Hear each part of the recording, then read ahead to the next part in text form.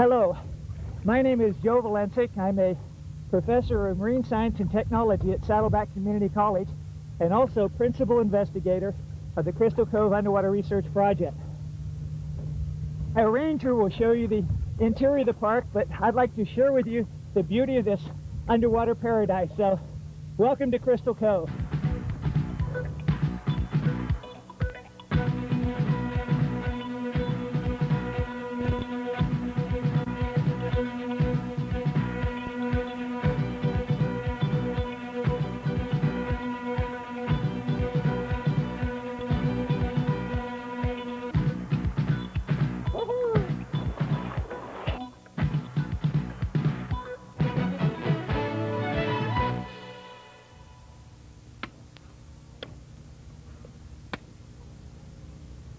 The underwater research effort at Crystal Cove involves the monitoring of both marine invertebrates as well as fish to determine both the abundance and the type present within the park's boundaries. This is the purpose of today's research dive. The information that we gather from this baseline data will be used to assess the changes both from Mother Nature as well as man. The information will also be used to determine underwater trails for divers within Crystal Cove State Park.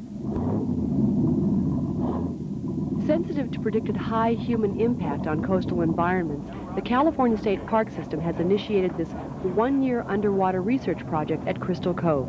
Assistance for the project has been provided by various marine scientists in addition to marine technology students from Saddleback College. Also supporting this effort are certified state lifeguard divers and boat operators from Newport Beach. Hi, I'm David Perry. I'm the skipper of Surfwatch 1. Surfwatch 1 is a lifeguard vessel 32 feet long. Uh, in the summertime, we operate off the coast, off state parks, rescuing swimmers, usually in riptides or in large surf. Uh, in the off-season, we are assisting the underwater uh, research effort off Crystal Cove State Park. And we do that by assisting the divers with their video camera and transect lines. And that's what we're going to be doing today, so hang on. The marine portion of Crystal Cove Park encompasses over 1,100 underwater acres from mean high tide seaward to a depth of 120 feet. The three and a quarter mile long sandy beach is interspersed with scattered rocky outcroppings and rich intertidal areas.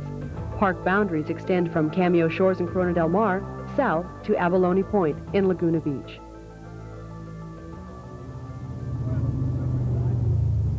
Well, conditions look pretty good today, Dave. Yeah, they sure do. Uh, let's go to Hatchet Cut Reef. That's one of our four monitoring reefs out at Crystal Cove. I think it's out in this area. The base of Hatchet Cut Reef is in about 70 feet of water. It's a sandy bottom. The reef ledge then extends up to a top of the pinnacle about 42 feet. Here you can see some of the spikes, some of the little overhangs on it, and then drops off in the far side. This is only one of four areas that we're monitoring at Crystal Cove. With the reef located and anchor deployed, Bill Tippett, ecologist for the state park system, discusses the park. Crystal Cove is the most recent of the underwater state parks to be developed. We're very excited about this state park because we're participating in some research to determine the biological values of the underwater area using underwater television techniques as well as state-of-the-art computerized data processing. All of this information will be uh, developed and brought to the visitor center where the non-diving public will gain a better appreciation of the underwater state park. Good. Okay, this is what the reef structure looks like at Hatchet Cut. The top of the reef is in about 40 feet of water. Uh, Dave, you'll be going down first. Uh, on the reef, we've epoxied some of these uh, PVC stakes. So I'd like you to locate these stakes A pre-dive briefing outlines specific tasks for each diver. Underwater skills involving biology, uh, geology, navigation, photography, and video are important qualifications for all divers participating in the project. Some of the sophisticated equipment used for underwater data recording has been developed specifically for this underwater research project. communications mask, and the way that we've got it set up is the output of your microphone will go into a voice-actuated microcassette recorder.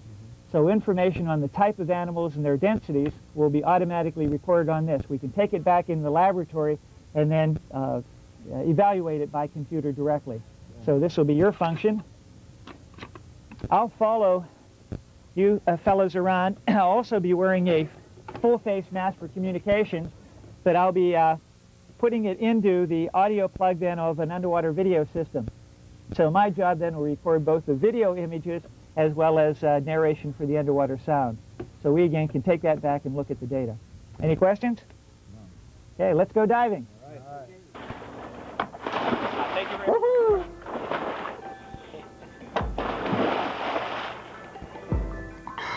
We are descending.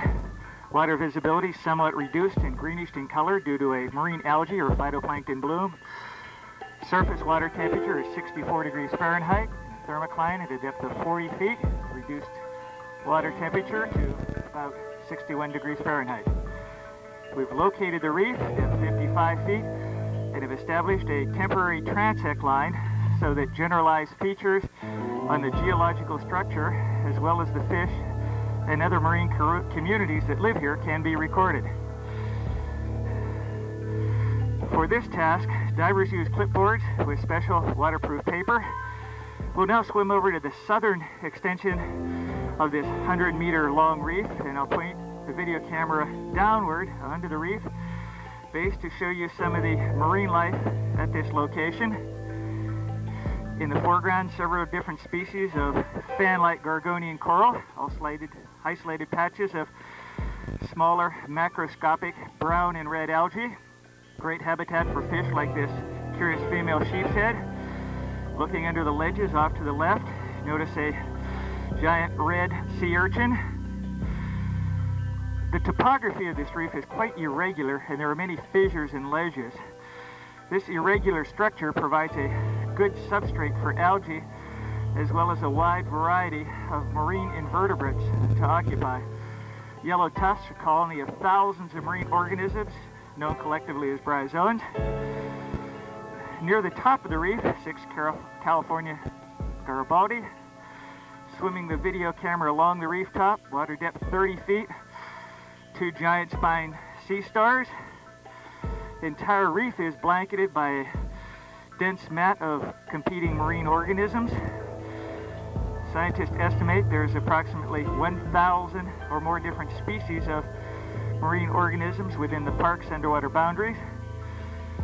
Because of the more favorable conditions, the reef top has about six times as many individuals. That pointed out here is a large rock scallop. Unlike the swimming scallops, this rock scallop cements itself to the reef and retain their filtering food looking under an undercut ledge here, one of three different species of California Gorgonian coral, this being the California golden Gorgonian, the most dominant. Also, back under the ledges, several more giant red sea urchins. These overhangs and undercut ledges can be quite spectacular for divers. The large brown algae not only add to the underwater beauty as they sway in the current, but also afford protection for many fish and other marine organisms. This brown Gorgonian soft coral is easily recognizable by its distinct white polyps. Here the California golden, also a protective habitat, much smaller scale. Now to assist in the survey of large reef areas, we use diver propulsion vehicles like this small Tekna scooter conserve divers' energy and air, they increase underwater time. Been valuable in exploring areas uh, adjacent to Crystal Cove and establishing some of our underwater monitoring sites. Now returning to the reef, swimming northward through a small school of blacksmith fish. Appears that one of the divers located a spare line on the bottom. Move in closer with the video camera. Well, not too bad. Connected to the line at Danforth Anchor. Probably some poor fisherman lost on the reef. These small blacksmith fish, often found in schools, a hundred or more, have a very unique habit. During the day, they're normally seen above the reef, feeding on plankton. Late afternoon, they move downward to the bottom of the reef and seek the protection of these small caves and crevices, spend the night. They are a member of the damselfish family, quite common in Southern California waters. Other common fish are the sheep's head, kelp bass, and senorita wrasse. The territorial and feeding behavior of these fish can be studied close up by luring them into the camera's field of view. Narration from other underwater scientists wearing full face masks like this Kirby Morgan shown here can also be linked to my underwater video camera. In this study, Dr. Bob Given can observe firsthand sheep's head feeding behavior. The sheep's head has very protruding teeth, able to move in and feed despite the urchin's long spines. Urchin roe or eggs are consumed while waste is expelled. Underwater 35 millimeter cameras and strobes are also used to document the reefs. There will be both used in our study as part of an underwater guide for Crystal Cove. On camera is a giant keyhole limpet between three sea stars. The sea stars consume large amounts of bivalves such as rock oysters. This sea star, held by ecologist Bill Tippett, is just one of about 50 different invertebrates and fish being monitored as part of the research project. Bill is pointing to the extended stomach of the sea star indicating it was feeding prior to its removal from the reef. Now we'll place it back on the reef so it can continue its dinner. Another monitored organism is this tube anemone. Here a diver places a small clamshell in the vicinity of the anemone to elicit a reaction. There is none. Small section of drift algae is gently brushed against the anemone's tentacles still no reaction from these normally encountered substances. However, a sharp metallic object, such as a diver's knife, when contact is made, causes the tentacles to instantly retract back into its protective tube. Many marine animals have outer protective structures. This wavy-top turban snail has both a hard calcium carbonate shell in addition to a small trapdoor shown here known as an operculum It can be withdrawn in the shell, closing it off and protecting its muscular foot. Another interesting thing about this shell is it has several small plants growing on it.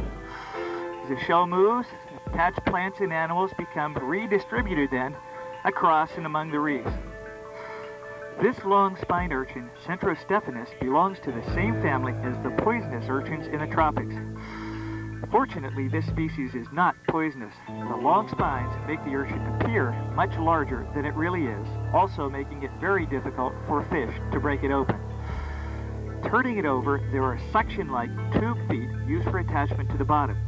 These two feet, as well as the short spine, help the urchin move along the bottom. It can be quite active. The white central area is the urchin's mouth.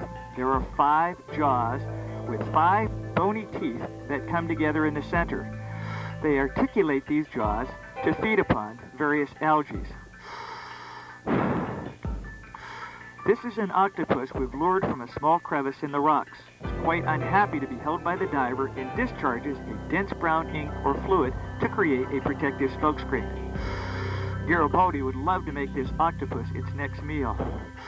Normally, octopus use their eight tentacles to move over the rocks. Here, it's using it to move over the diver's masks, discharging ink. Octopus has a high degree of intelligence, can be a slippery creature, though. This California spiny lobster lacks the large pincing claws of the Maine lobster. It's still a popular food and can grow to a length of about 30 inches. It uses its long antennae and short antennules in searching for food as well as for protection. They are in almost constant motion. Lobsters normally hide in rocky crevices but venture out at night in search of food. For protection, its body is covered with sharp spines similar to thorns on a rosebush. The entire underwater park at Crystal Cove is designated as a marine life refuge, and from the video footage, I'm sure you'll agree it's a very beautiful one. The marine areas within the park include some of the finest reef environments in all Southern California.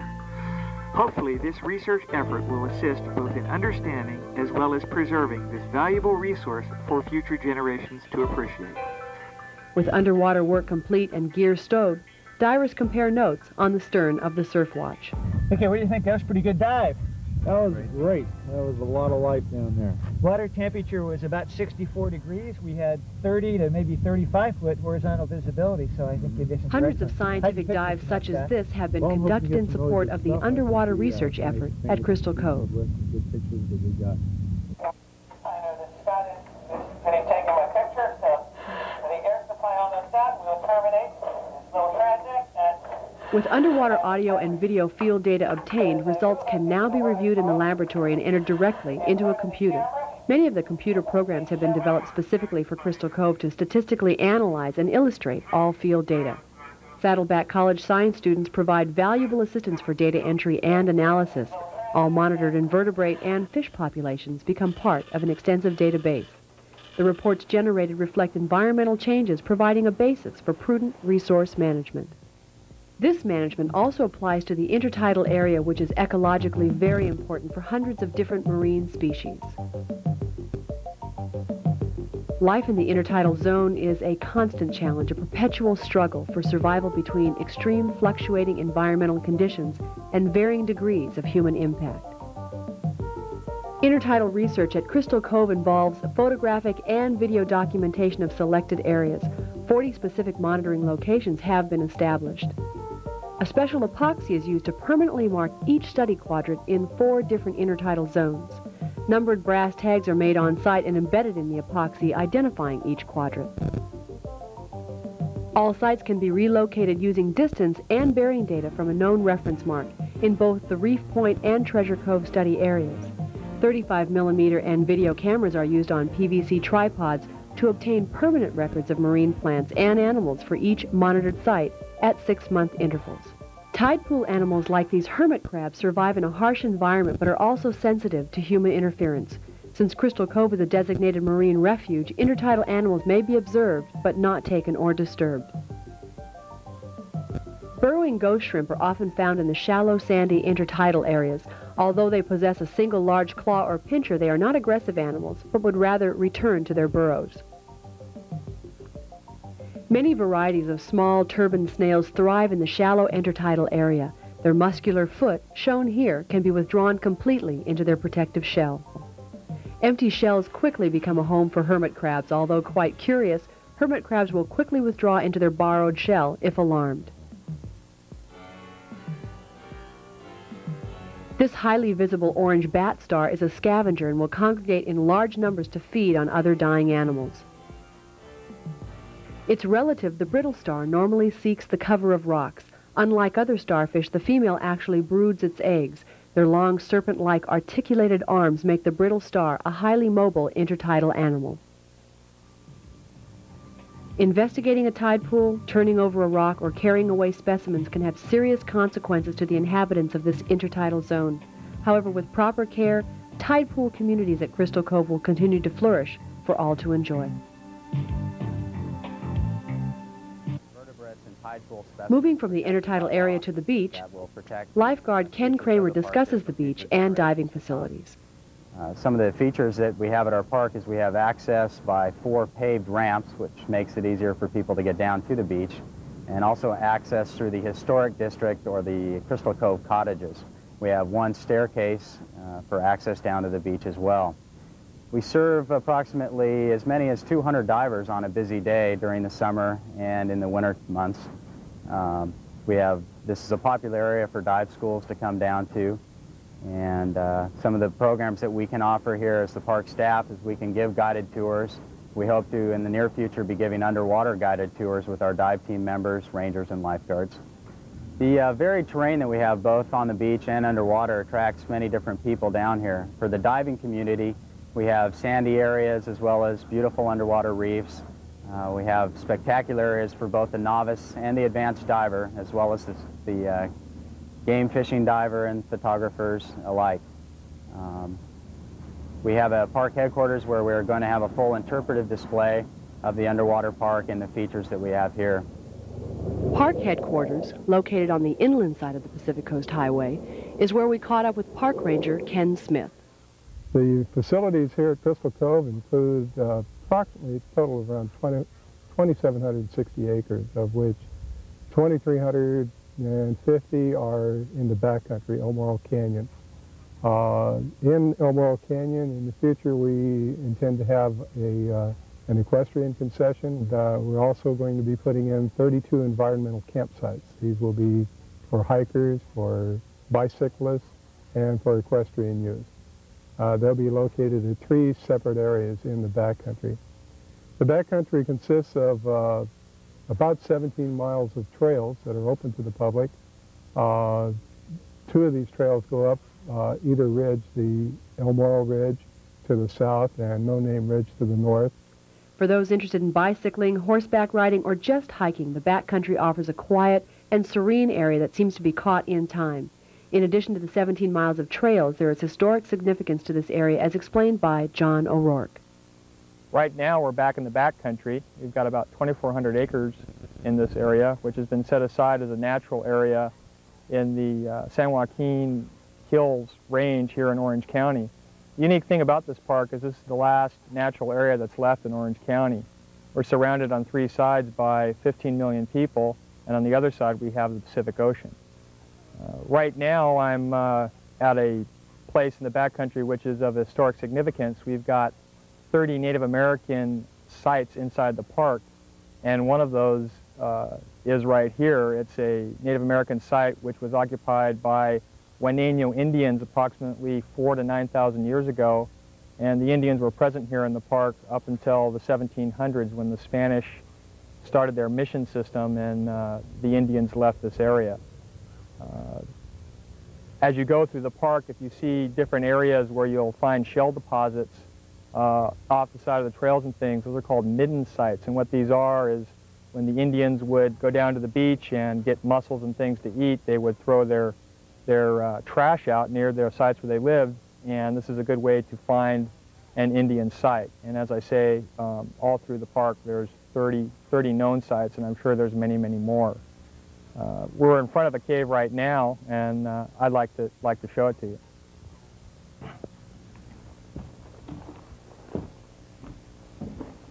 Okay, here we're inside a Native American site. Approximately, oh, 200 years ago, the Juaneño Indians inhabited these hills. There was three or 4,000 of them that lived here inside the park boundaries. In the 1700s, 1776, right around there, the uh, Spanish were exploring an expeditionary force up this coast, and they ran into the Indians. They established a series of missions, and one of those missions was San Juan Capistrano. The, the Spanish called the Indians here in this area Juaneño Indians, and to this day we refer to them as the Juaneño Indians. As you come to the park and go through the backcountry, it's almost like traveling back in time. If you can see one of these caves or just let your mind wander a bit, it's like maybe being back before uh, this area was developed. We hope your visit to Crystal Cove will be an enjoyable one. Its terrestrial and underwater resources have much to offer, making it a welcome addition to the California State Park system. This pristine coastal marine environment of Crystal Cove stands as a jewel, open to the quiet tranquility of the Pacific. It is truly an ocean lover's delight.